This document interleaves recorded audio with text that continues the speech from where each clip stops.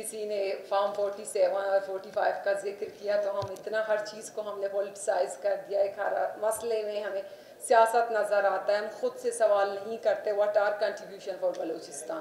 Balochistan के ज़्यादातर और देही इलाकों में लोगों को टीवी के बारे में मालूम नहीं है, जिसकी वजह से लोग अपनी जानों की, ज़िंदगियों की बाजियाँ हार रहे हैं, क्योंकि लोगों को पता नहीं है। जिस तरह इस प्रोग्राम के शुरुआत में एक टेबलो दिखाया गया, जिसमें ये दिखाने की कोशिश की कि लोगों को मालूम टीवी के बारे में अक्सर नहीं होता।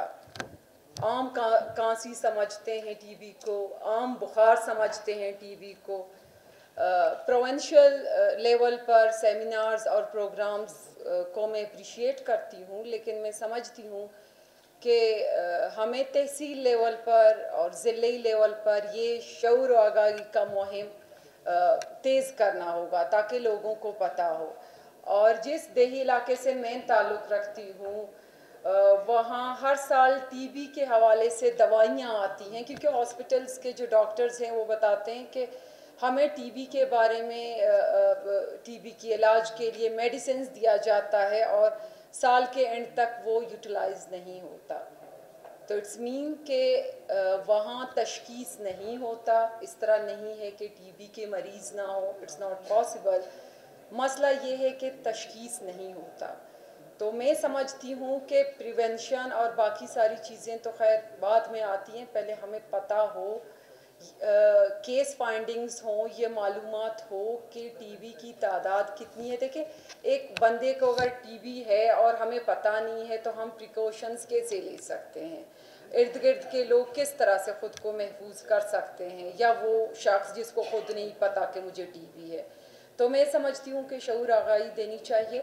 और दूसरा बार बार हेल्थ जो डिपार्टमेंट के जो सीनियर्स थे हमारे, जो मुख्तलिफ़ प्रोग्राम्स में काम कर रहे हैं हेल्थ केयर इम्प्रूवमेंट में उन्होंने हमें बारहा कहा कि गवर्नमेंट की तरफ़ से सपोर्ट नहीं है फंडिंग नहीं है तो मैं ये उनको बताना चाहूँगी कि हमें calibration with calibration of national and international organisations government of Balochistan civil society हम सबको मिल के टीवी के साथ मुकाबला करना है फंड्स हमने एलोकेट करने हैं, ना सिर्फ़ टीवी के लिए, बल्कि उन तमाम हेल्थ केयर जो सेक्टर्स हैं जिनमें इम्प्रूवमेंट की ज़रूरत है तो हमारी कोशिश होगी, मैं बजात ख़ुद और ज़रूर बुलैदी साहब भी बैठे हैं, हम हुकूमती जमात से ताल्लुक़ रखते हैं, हमारी कोशिश होगी कि हुकूमत की तरफ़ से सपोर्ट किया जाए। और एंड में मैं ये कहना चाहूँगी कि हम सबको अपने हिस्से का कंट्रीब्यूट करना चाहिए। मेरे ख्याल से इस प्रोग्राम में बेटे 80 परसेंट लोग देही इलाकों से ताल्लुक़ रखते होंगे। तो वो अपने इलाकों में हुकूमत बलूचिस्तान के साथ और इंटरनेशनल जितने भी प्रोजेक्ट्स चल रहे हैं, उन सब में अपना हिस्सा डालने की कोशिश करें एज अ वॉल्टियर क्योंकि बलूचिस्तान वो सूबा है, जैसे कि यहाँ पहले स्पीकर ने बताया कि बलूचिस्तान हर हवाले से पीछे है। अगर हम हेल्थ देखें मलेरिया देखें टीबी देखें, किसी भी हम सेक्टर को उठा के देख लें, बलूचिस्तान बहुत पीछे है। तो मैं समझती हूँ कि बलूचिस्तान में जो हालात चल रहे हैं, जो करंट सिचुएशन है, ये मेरी ज़ाती अंडरस्टैंडिंग है। मैं समझती हूँ कहीं ना कहीं वजूहत ये भी हैं कि हम डेवलपमेंट कामों में या हम उन सारी चीज़ों से ख़ुद को दूर नहीं रख पाते, जिनकी वजह से बलूचिस्तान के मौजूदा जो आज जो हालात हैं, जिनके वजूहत पर हम उन सारी चीज़ों को ख़ुद को दूर नहीं रख पा रहे। हम हर चीज़ को पॉलिटिसाइज करते हैं, हर मसले को।